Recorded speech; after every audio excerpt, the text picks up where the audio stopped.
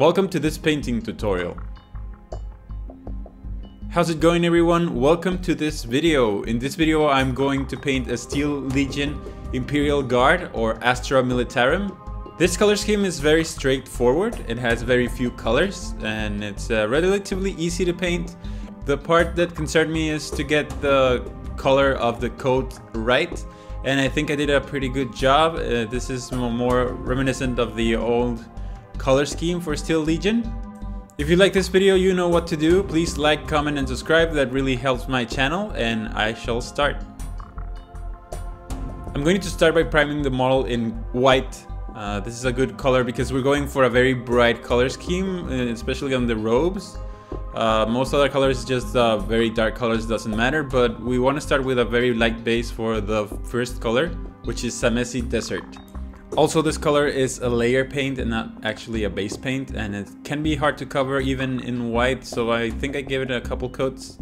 Uh, it doesn't really matter if you don't have full opacity, because we're going to still uh, layer over it, and we're going to use a wash and we don't really want this color because it's a little bit too dark for what the color of the coat we want at the end. Next I'm going to use Rhinox Hide and with this color I'm going to base coat all of the gloves, the boots, the mask and all of the other places that are going to be leather such as the belts around the uniform. Make sure not to paint over uh, the desert yellow colors of the uh, uniform uh, with this color because it's very overpowering and you'll need uh, at least a couple coats of the Zamesi Desert to clean it up. So uh, just make sure to be neat and clean. Next I'm going to use Leadbelcher and with this color I'm going to base coat all of the places that are going to be silver. As I've said before, uh, make sure to not use any color straight from the pot. Make sure to thin them down with a little bit of water or sometimes you can use uh, thinning mediums uh, such as Lahmian medium or uh, drying retarders if you want your paint to last wet for longer. Uh, just to make sure that you apply thin layers and that you stretch the paint uh, thin enough uh, around places where it might pool or something like that. I'm using Vallejo Model Color Black to base coat the, the helmet and all of the places that you want to be black there's not too many. There's only the case for the bolter and the uh, helmet on this particular model. Oh, also the handle for the sword. I forgot. Next, with Agrax Earthshade, I'm going to give the whole model a uh, wash. Just be very careful not to let it pull around the uniform too much. Make sure to, that it gets into all of the crevices. Uh, but you don't really want any pulls on the uniform uh, because you're going to uh, start uh, layering uh, bone colors on top of the Zamesi Desert and you want a very bright uh, highlight and over pools of brown is going to be very hard to do so next Zamesi Desert and a Ushabti Bone I'm going to mix them up in a 50-50 mix equal parts in other words and I'm going to start picking up all of the raised parts on this um, uniform trying to leave a little bit of the places that are uh, like implied by the wash that are in shadow and most of the recesses. For the most part, this is an all over cleanup for the uniform, just leaving a little bit of the shade shaded color behind. We don't want this miniature to end up looking yellow. We want it to look a little bit more desertly, um, bone color a little bit of yellow, but not too much. I'm giving it a second coat in this uh, clip I came back and I started to apply a second coat. Don't worry if the first coat doesn't cover too well, it's gonna be patchy, that's normal. Uh, make sure to give it a second or even third coat if you feel like, you, like it needs it. And um, make sure to use thin down paint and uh, build up the color little by little. Don't worry about the patchiness. Let it dry and give it another coat. Here I'm doing the same thing, but I'm doing two parts Ushabti Bone and one part Zamesi Desert and I'm giving it another highlight. And this one is going to focus a little bit more on the raised parts. Almost all of the area again just leaving a little bit of the uh, previous mix showing and uh, starting to make a transition towards the highlight areas and kind of getting rid of that very yellow color that the Zamesi Desert has Next, with straight Ushabti bone, I'm going to use this color in uh, the brightest parts of the uniform, still trying to make a little transition of color. Uh, not worrying too much to be very uh, fine in our highlights because we're going to come back and give it a last highlight with Screaming Skull. And this is the last one, this is Screaming Skull. And with this color I'm going to very finely get all of the edges of the uniform and all of the very edge parts uh, around the shadows just to imply this uh, very bright highlight.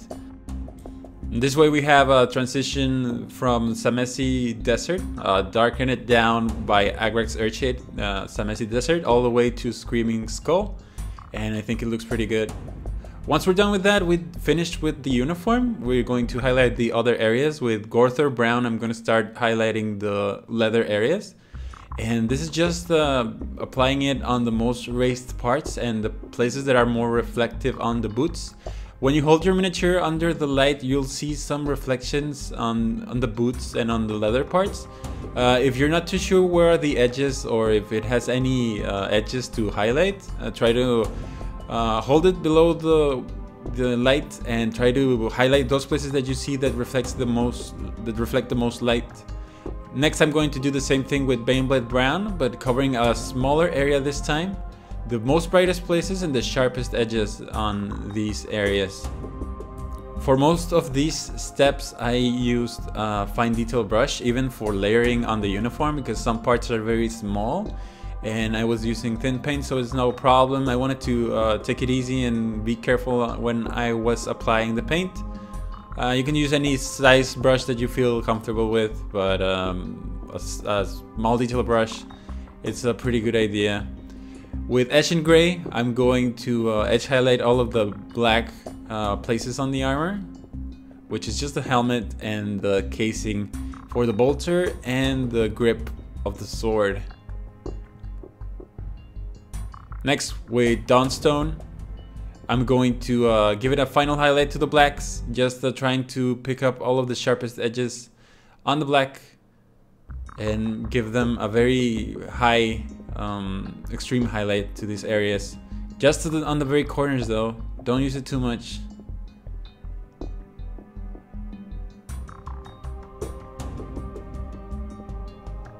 Once that's done, I'm going to use Runefang Steel and I'm going to start highlighting the uh, metal or the silver. And for this, it's just an edge highlight real quick. Uh, try to uh, get the most uh, sharpest parts of all of the metallic areas. I'm leaving a little bit of the Agrax Earthshade uh, showing so that it looks like dirty and military worn out. I must point out that the sword didn't get much of the Agrax Earthshade when I did the wash, only the base of the sword.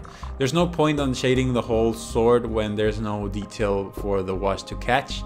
I just did the, the base and the rest is just, is just straight uh, Leadbelcher and then the edges with um, Runefang steel. There I used uh, Celestra Grey to base coat the logo of the Steel Legion on the shoulder and followed by Mephiston Red I'm going to cover uh, the lightning bolt kind of figure shape on the logo.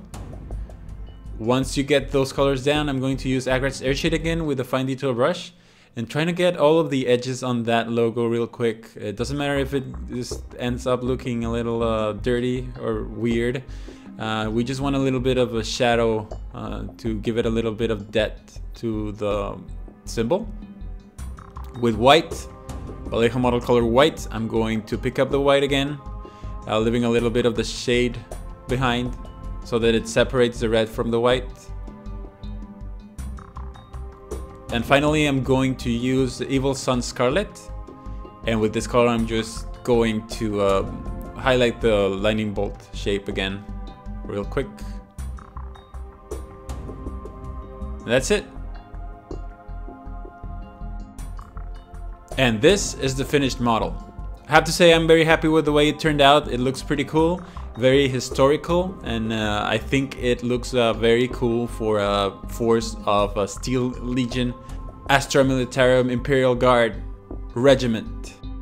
The only kind of difficult part of this tutorial is to get the coat right, uh, because you have to be a little patient and give it some uh, uh, coats initially to get the color uh, highlight going. Uh, it's gonna be a little bit patchy. Don't don't worry about that. Just uh, let it dry and give it a second coat once you give it the first one, and build up the color until you get to the Screaming Skull, and it turns out uh, at the end looking pretty good in my opinion. So that's it. Thank you very much for watching. I hope you found this video entertaining and helpful. And if you did like it, please like it, comment, and subscribe to the channel to see more videos. That really helps me out and puts my channel up there so that more people can reach it and uh, subscribe and so that I can produce more videos. And thank you very much for supporting what I do. I hope you enjoyed it and I'll see you on the next video. You stayed. Great. Thank you very much for supporting my channel and if you would like to become a patron, there is a link to my Patreon page in the description below. Your contributions help pay for my work and keeps the channel going. A single dollar a month is more than enough and you can cancel at any time. If you can't, don't worry, you can support my channel by simply watching my videos and sharing them with your friends. Thank you for watching, have a great day and I'll see you on the next one.